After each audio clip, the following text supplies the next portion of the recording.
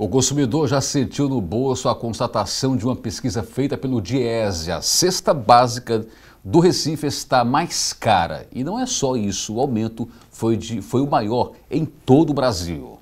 Recife registrou o maior aumento no preço da cesta básica no mês de maio, em comparação com os demais municípios brasileiros.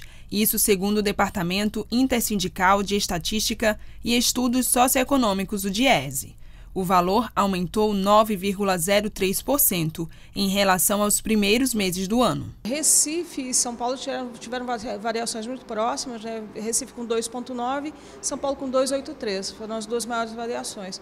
No entanto, se a gente olhar o conjunto das cestas básicas no país, é, a de Porto Alegre foi a mais cara, com 460 reais, seguida de São Paulo com R$ 459.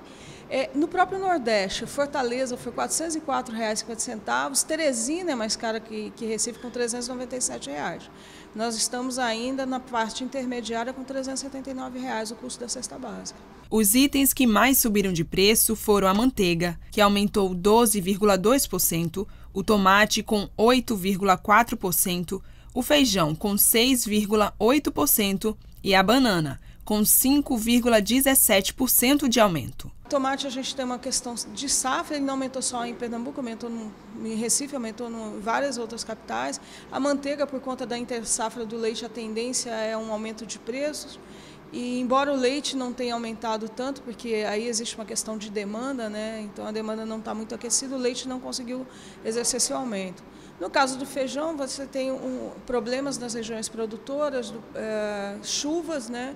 e uma certa retenção do grão também por parte do, do mercado, olhando um pouco para o cenário de estabilidade que a gente está vendo, o mercado está apostando num, num, aumento futuro. Nós temos a banana, que além da entre safra, o produto está de má qualidade, e isso encareceu bastante no, no, no mês, inclusive no ano. A cesta básica no Recife está custando R$ 379,39, o que equivale a 44% do salário mínimo. O Diese ainda divulgou o valor ideal do salário mínimo brasileiro, que deveria ser de R$ 3.869,92, uma realidade bem distante da maior parte da população brasileira.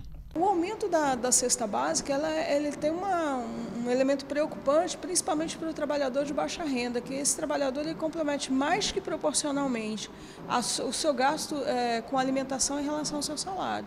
A cesta básica para um indivíduo, ao longo de 30 dias, dos 30 de 31 dias de mês de maio, foi 379 reais. Mas esse é para um indivíduo. Se a gente considera para uma família estatística de dois adultos e duas crianças, nós temos um custo de alimentação no Recife de 1.138 reais ou seja, 1,21 vezes o salário mínimo que é pago hoje no, no país, o salário mínimo oficial. Isso mostra a insuficiência que nós temos no nosso padrão salarial. Né? E isso nos joga uma preocupação maior, porque se nós olharmos a conjuntura e as reformas que estão aí colocadas, a reforma trabalhista, por exemplo, tem a característica de rebaixar salário. Então, do ponto de vista atual, é ruim para o trabalhador, que tem uma parcela maior do seu salário comprometida, e do ponto de vista futuro, é pior se os salários, com a reforma trabalhista está colocada, rebaixar salário vai piorar ainda mais a situação dos trabalhadores e trabalhadoras do país.